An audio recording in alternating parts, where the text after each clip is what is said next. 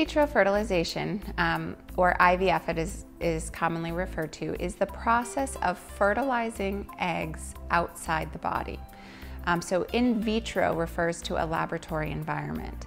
So the idea is that a woman is given medications which come in the form of injections um, daily to grow eggs on the ovary. And the goal of in vitro fertilization is to grow multiple eggs. Those eggs are then retrieved through a minor surgical procedure, which is done through the vagina using an ultrasound. So there is no incision um, anywhere on the body, no stitches, for example. The eggs are retrieved through the vagina and then they are fertilized in the laboratory with um, the partner's sperm. So the fertilization occurs in the laboratory.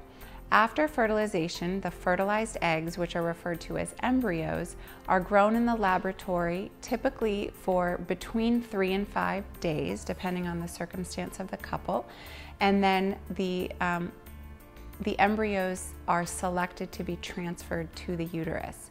So in the process of in vitro fertilization, the fallopian tubes, which are part of the woman's reproductive anatomy, that normally is responsible or the site of eggs and sperm coming together and making an embryo are completely removed from the process of making a baby. We choose the number of embryos to transfer to a woman's uterus based on many factors, primarily her age. Most commonly, people will have two embryos transferred to the uterus. And even with that, the majority of people who become pregnant after IVF will have a singleton pregnancy or be pregnant with one child.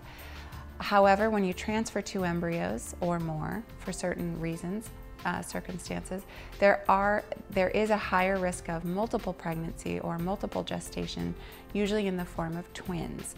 And the risk of that after in vitro fertilization is between 20 and 30 percent, depending on your age and some other factors.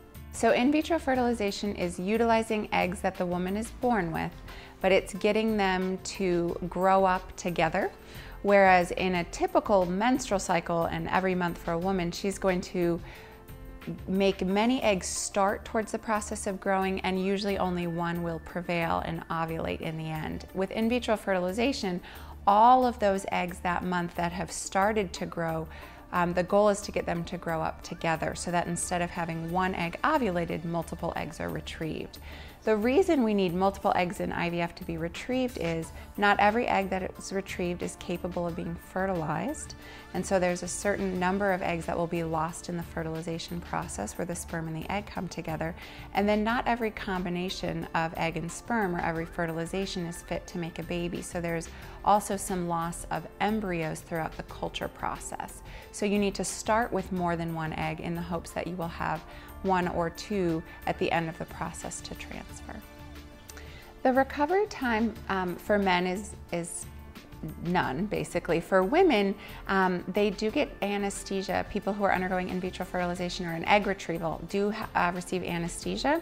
And so that day, um, people may feel groggy and out of it and have some soreness related to the procedure.